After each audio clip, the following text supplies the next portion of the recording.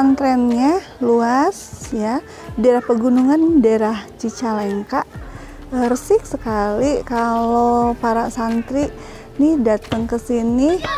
Betul-betul memang untuk belajar dan menghafal Al-Quran uh, dengan ustadz dan ustazahnya yang juga uh, luar biasa hebat-hebat. Sekarang masuk ke perjalanan ke belakang. Ini adalah um, apa tempat pesantren itu sampai sekitar 2 hektar ya. Uh, di mana di belakang itu uh, indah dengan sawah dan sebagainya. Ini adalah menuju ke tempat yang area belakang atau tempat ahwat ya. Ya sekarang kita masuk ke uh, yayasannya yaitu Yayasan Baitul Aslia. Di sini ada gerbang Wilujeng Sumping ya. Tertulis di sana Panti Asuhan Pondok Pesantren Tahfiz SMA Islam Plus MA Kampung Cikahuripan RT 01 RW 09 Desa Nagro Kecamatan Cicalengka Kabupaten Bandung nomor teleponnya di 0853 1727 1858 Oke kita lihat yuk ke dalamnya seperti apa ya Ini kalau mau menyumbang uh, apa donasi ya ke pesantren ini uh, nanti ke sini ya. Ini donasinya banyak banget makanya dibuatkan uh, spanduknya Jazakumullahu khairan kasiron. Ya, terima kasih kepada para donatur dan dermawan yang telah menitipkan hartanya untuk anak yatim piatu dan duafa. Ya, di panti asuhan dan pondok pesantren Tahfiz Baitul Ahliyah semoga Allah Subhanahu wa taala menerima titipan infak, sodako dan zakatnya digantikan dengan rezeki yang berlipat ganda dan berkah. Amin ya robbal alamin. Ini luar biasa ya pesantrennya kenapa? Karena uh, yang apa uh, yang mondok di sini itu gratis semuanya dari mulai pendidikan kemudian uh, tempat pesantrennya dan ini luasnya kan 2 hektar ini ke belakang ya kalau dilihat ke belakang ini belum dibangun baru beberapa. Nah ini adalah daerah pondok eh, pemondokan Ahwat ya. Di sini kalau lihat eh, perkebunan ya yang digarap oleh ini oleh pengurus di panti asuhan ini. Ini uh, jadi kalau berkebun seperti ini kalau masak juga tinggal ngambil, asik ya keren keren keren. Seneng liatnya. Bismillahirrahmanirrahim. Assalamualaikum warahmatullahi wabarakatuh. Saya Effendi Ridwan Eshum MPD Yang Allah berikan amanah Menjadi pimpinan di Yayasan Baitul Asliyah. Kami menaungi lembaga pendidikan Yaitu dari tingkat taman pendidikan TK, kemudian SD, SMP, dan SMA Baitul Aslia. Kemudian kami pun untuk sosialnya kami menerima titipan anak-anak yatim piatu di panti asuhan. Kemudian kami pun bergerak dalam pendidikan agama yaitu pondok pesantren tahfiz gratis Baitul Asliyah. Kami pun mendirikan pendidikan majelis taklim dan juga untuk madrasah diniyah awaliyah dan wusto.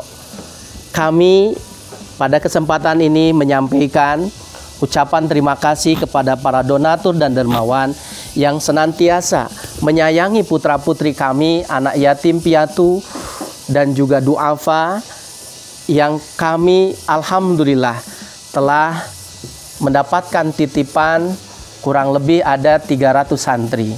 Semuanya kami gratiskan dari mulai biaya sekolah, biaya pesantren, dan juga untuk biaya uang makan dan untuk operasional. Oleh karena itu, bagi para donatur dan dermawan yang akan ikut serta menyayangi untuk putra-putri kami, anak-anak yatim piatu dan duafa ini, kami menyampaikan ucapan terima kasih. Kami persilahkan, marilah kita bersama-sama menyayangi putra-putri ini menjadi bagian untuk mereka bisa mendapatkan kesuksesan dunia dan juga kebahagiaan di akhirat. Itu saja yang kami sampaikan. Jazakumullahu khairan katsiran. Akhiru kalam. Wassalamualaikum warahmatullahi wabarakatuh.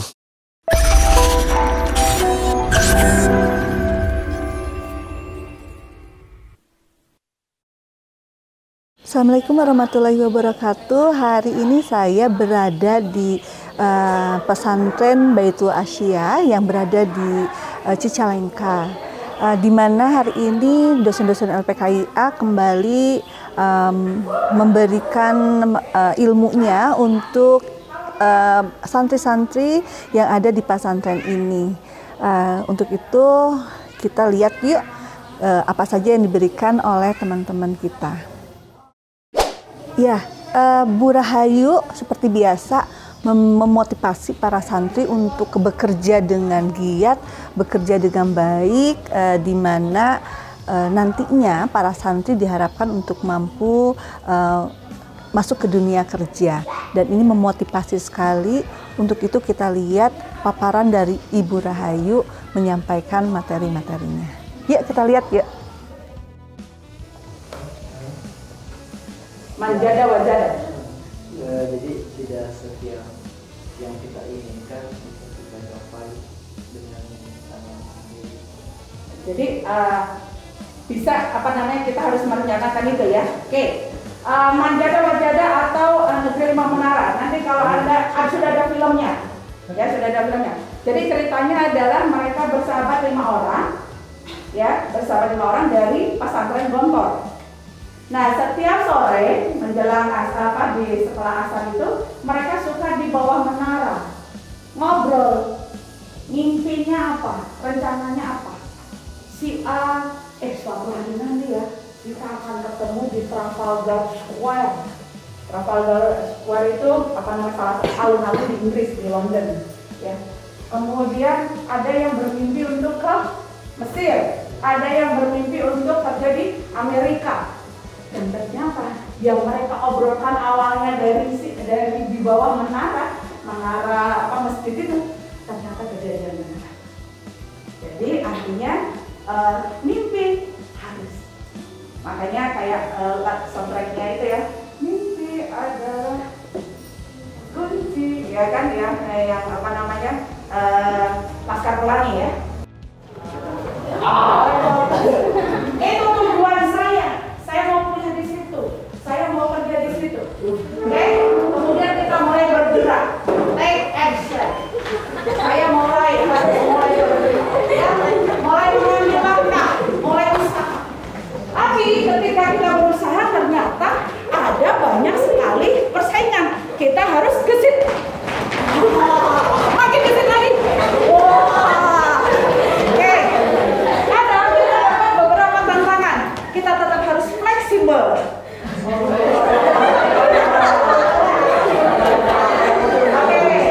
dan kita harus nantiasa bisa bekerja sama. Kolaborasi 55.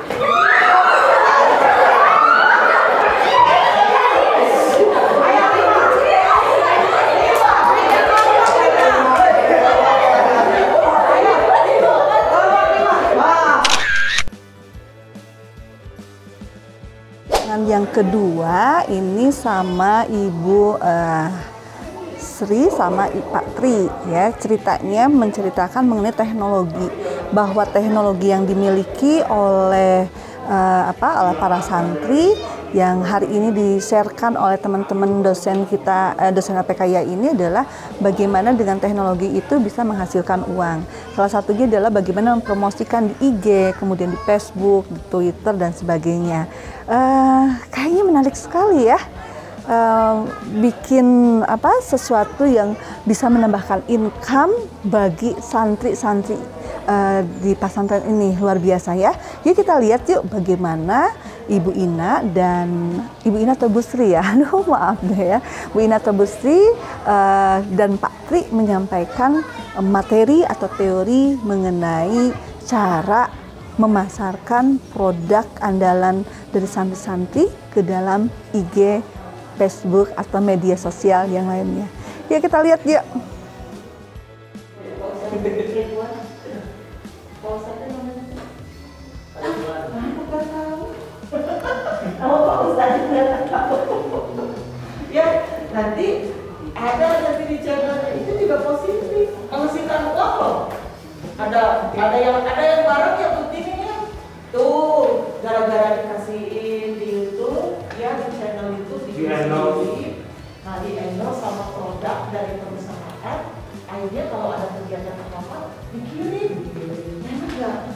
dibantuin ini nih ada yang bentuknya donasi pakai barang ada yang mungkin nanti dititipkan bentuk uang atau produk mereka yang harus kita promosikan. Itu caranya. Jadi saling membantu. Perusahaan dikasih keuntungan dipromosikan. Kita juga dikasih barangnya. Ya benar nggak? Itu nanti yang kayak jualan tadi boleh tuh dibikin aja ini kayak gitu.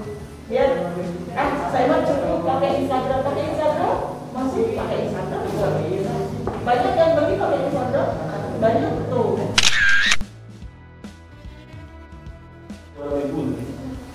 itu dulu nah tuh soalnya kita mah sebagai manusia kan biasanya suka bagus padahal mah bagus ya kita kan punya punya karya bagus gitu ya. tapi karena tak pasti ada nanti ya, namanya orang ini ya namanya tadi saya bilang kan namanya pengguna media sosial itu nggak semuanya baik ada aja lah yang ini. Padahal udah jelas bagus gitu. Tapi kalau yang namanya benci mah benci aja kan? Jadi ya jadi yang pertama adalah jangan takut buat itu. Satu. Terus jangan jangan mikir itu jelek dan gimana, udah aja upload aja dulu. dua Karena kuncinya gitu broadcast broadcast dulu, kenalin dulu orang. sebarin disebarin. Sebarin dulu karya proses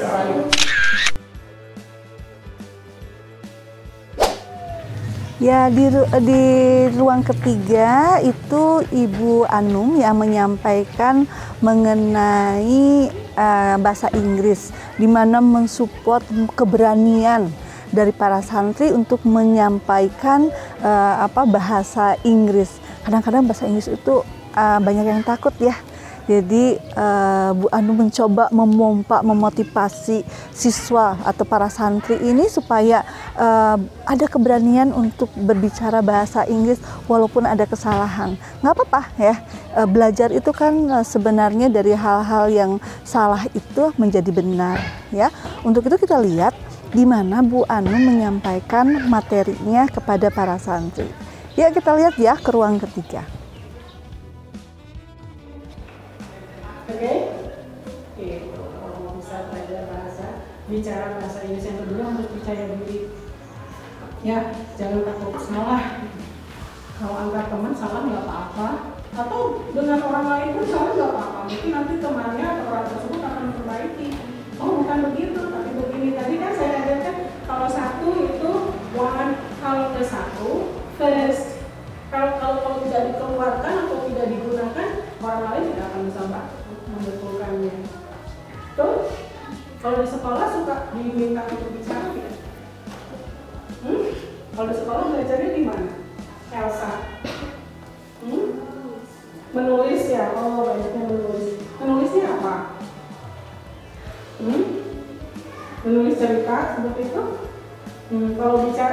bicara suka dilatih nggak? Enggak, jadi nggak sama, sama sekali tidak bicara ya.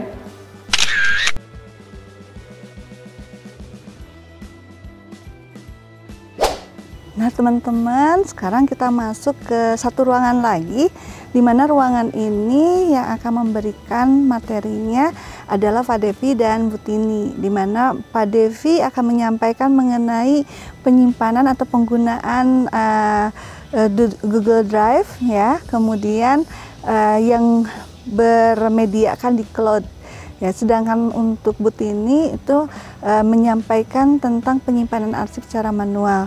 Kebetulan Bantek juga kasih sumbangan nih untuk uh, penyimpanan arsip manual ini. Kita lihat ya. Ada Google Doc. Kalau ikonnya seperti ini. Nah, ini Google Docs. Nah, ya. Doc ya betul. Ada tuh ya. Ada yang pernah pakai Docs ya ini ya. Nah, kalau yang Excel, yang TTT yang biasanya pakai Excel, bisa tampilannya seperti ini kalau di komputer, ya. Di komputer tampilannya seperti ini, ya. Sama kan seperti di Excel ya? Nah, kalau ini gratis, ya. Nah, kalau di Excel ini sheet namanya sheet. Kalau di Google itu kalau tadi biasanya TTT pakai Word, di sini pakai Doc. Ya. Kalau TTT biasanya pakai Excel, di sini namanya pakai sheet. Tuh ya. Satu lagi, kalau TTT biasanya pakai PowerPoint. Nah, ya. Pakai PowerPoint. Nah, kalau di komputer namanya slide. Nah, ini kan PowerPoint. Seperti PowerPoint ada slide-slide-nya.